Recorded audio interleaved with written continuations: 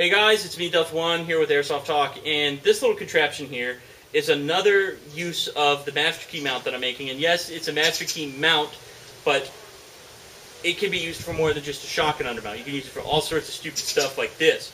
Now, um, this here is a KJW SIG P226. It's been customized and all that good stuff. CYMA Glock. By the way, sorry if you hear some wind or anything in the background. It's uh, really windy. I'm actually going to move my camera real quick so it won't show the wind. Hopefully I'll be in frame, but uh, this is just a really funny looking contraption.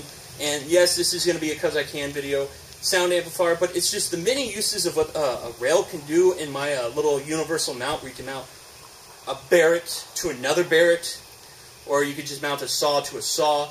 I mean, the many uses of my little Master Key mount, I guess I'll just turn this into a video for this, but it's just, you know, you do stupid stuff. And it's not about being practical.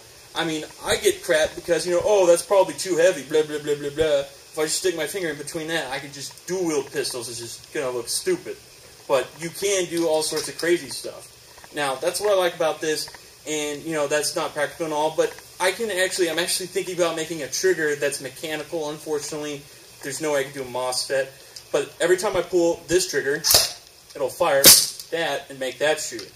So let me know if I should pursue something like this because I can do stuff like that. And I would be just be one of those things where you get two of them and just go pa pa pa pa pa.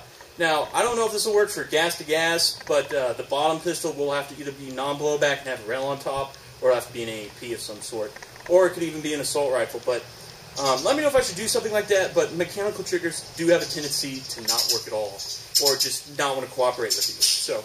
Guys, let me know what you think. It's pretty whack. And I just want to give a quick thanks to uh, good buddy Jolly for letting me do this. And guys, thanks for watching.